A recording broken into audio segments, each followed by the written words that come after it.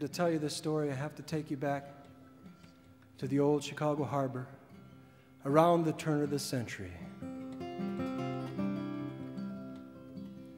Because you see, where now you see steel and glass in the Chicago River, which was the old harbor, I'd like you to imagine brick and mortar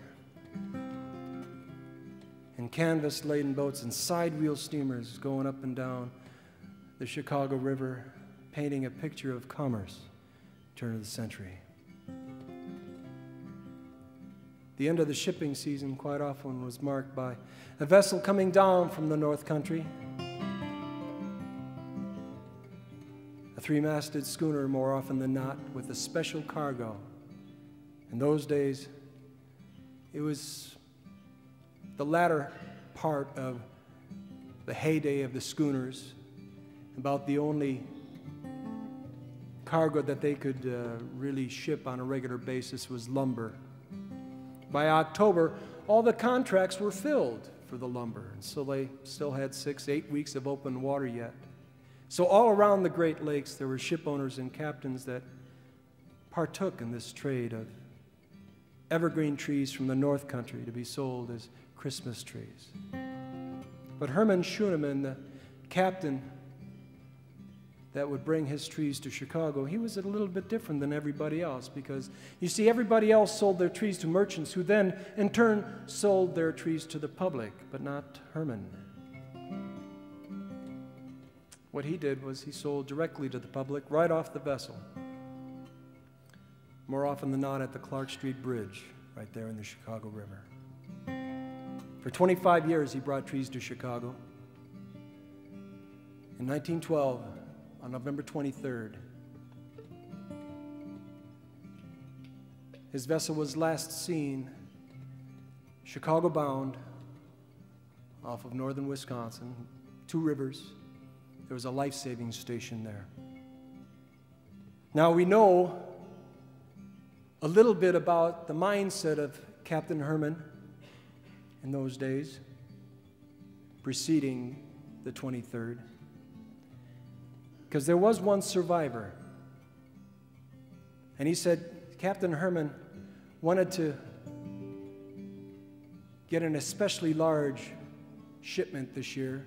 He had some bills outstanding. And so it was the biggest cargo that they had ever had.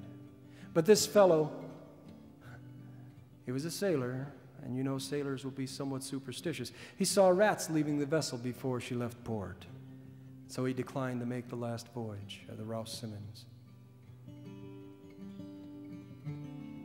And there on the 23rd, she was last seen before she disappeared into a snow squall. And the loss of that vessel hit many Chicagoans very hard that year. But where human tragedy befalls us, it provides an opportunity for heroes to step forward, and the hero in this story is none other than Barbara Schuenemann, the captain's wife.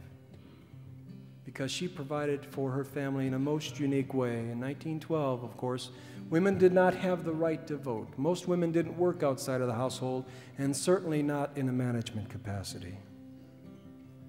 And so it's with those thoughts that I sing you this remembrance that I call the Christmas ship in the time of my life that recollection often turns. The snow always fell knee deep, the ironwood stoves burned, the ever present distant sound of jingling sleigh bells combined with the cadence of stock and trade into a wonderful swell. The creeping of the days never cautioned any fear the hours spent on sleds and skates only slowly disappeared when a special day arrived. It came but once a year when to the Clark Street Bridge we'd go right down to the pier. Oh, Papa, come look. Oh, Mama, can you see? I've been waiting for so long for this to come to be. Oh, Papa, come look. Oh, Mama, can't you see? Here comes the Christmas ship with all the Christmas trees. Now it was the Christmas ship that brought joy to us here. Those trees were grown up in Manistee and brought on down each year. The Simmons was her name, three-masted schooner was her frame. And the winter wild waters of the lake she always overcame. The set of her captain's face and the smile within his eye electrified that Chicago dock and all its passers-by, but especially us kids with the excitement that was there. We'd bring home a tree from the Christmas ship with holiday in the air. Oh, Papa, come look. Oh, Mama, can you see? I've been waiting for so long for this to come to be. Oh, Papa, come look. Oh, Mama, can't you see? Here comes the Christmas ship with all the Christmas trees. And one year it all changed, well as I can recall. I was in the kitchen playing by the stove as the shadows began to fall. A sun warm winter day, no clouds crossed the sky. But the air grew damp, a storm rolled in, and the snow began to fly. Papa came through the door, a sullen look was in his eyes. The weather's been real rough up north, he told me with a sigh. He said, Christmas ship is lost. Then he just sat down. As evening darkened the room that night, a shadow cast o'er the town. Oh, Papa, don't look. Oh, Mom, I can't see. I've been waiting for so long. Don't tell this to me. Oh, Papa, don't look. Oh, Mama, can't you see? Where is that Christmas ship with all the Christmas trees?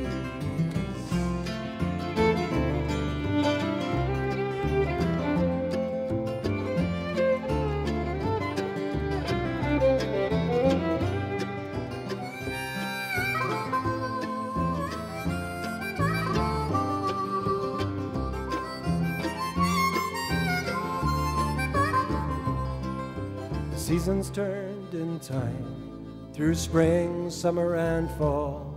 And with most things, my mind forgot that Christmas ship after all. But one early winter's day, like so many times before, I wandered the afternoon hours away, kicking down along the shore. When she came in off the lake, I can still see her now with the scent of pine and the deep green water gently breaking off her bow, and a lady at midship waving to me there on shore. And she brought delight to the children's faces for 22 years more. Oh, Papa, come look. Oh, Mama, can you see? I've been waiting for so long for this to come to be. Oh, Papa, come look. Oh, Mama, can't you see? Here comes the Christmas ship with all the Christmas trees.